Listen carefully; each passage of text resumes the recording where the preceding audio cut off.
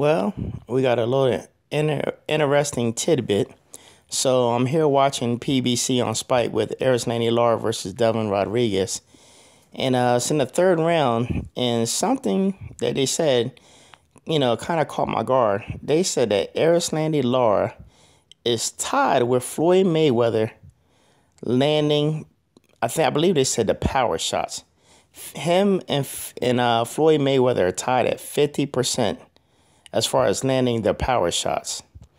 Uh, of course, even though that's an interesting fact, the big difference between the two is Floyd Mayweather is still undefeated.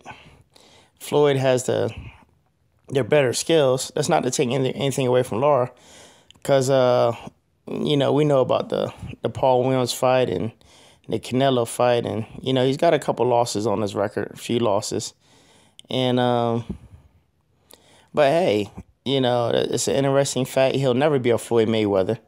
But um, Lara does have skills.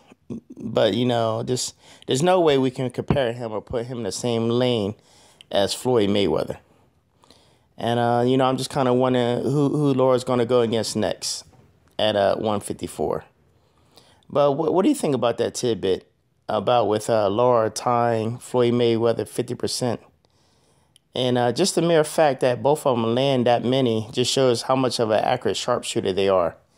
All right, leave your comments below. Tell me what you think, and uh, we'll keep it rolling.